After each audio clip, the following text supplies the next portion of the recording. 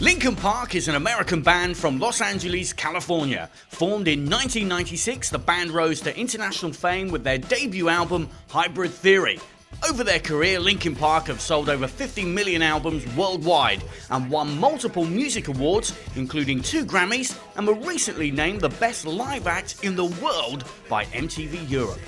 While on tour in Australia, bassist Phoenix stopped by the EA Sports office in Sydney to play a few games online against lucky fans and tell us his thoughts on the beautiful game and what it's like to be part of EA Sports FIFA 11.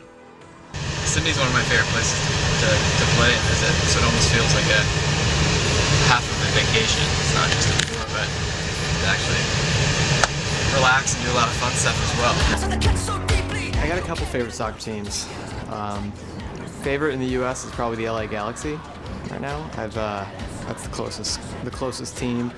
I've had some season tickets for a while. It was good when, uh, Beckham came. Good for U.S. soccer. I grew up watching whatever was on TV, so the only games that were shown that were good soccer were Manchester United with the occasional uh, Arsenal or uh, now Chelsea games. So I follow the big teams in the in the Premier League. Dempsey's great. I got to see him play a couple times uh, already this season. We got to go to some uh, Fulham games while we are in London, and um, Donovan's fun to watch at the Galaxy.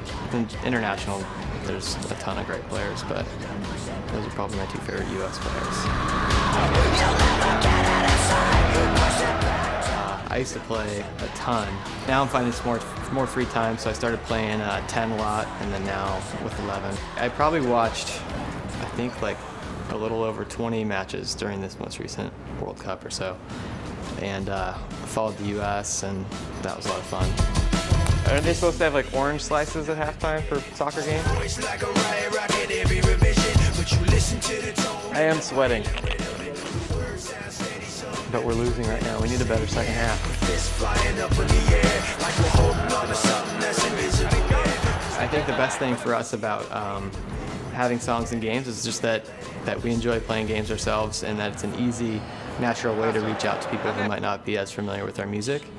Um, I think that you know titles like FIFA have a great cross section of people that are both fans and not necessarily familiar with the, with Linkin Park. So it's an opportunity for us to be involved with something we think is really cool. At the same time, maybe introduce ourselves to, to people who aren't familiar with the band in a, in a different way. Oh. You didn't, you didn't get that, did you? Yeah, it wasn't very good.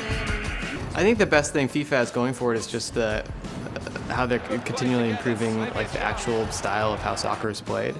Um, I think it's the best game as far as just realistic uh, soccer feel. You can actually use strategy that you'd play on the field, and you can you can play the game like the different players actually play in real life. So I think the closest it, the closer it gets towards that realistic feeling of actually playing, for me, the better.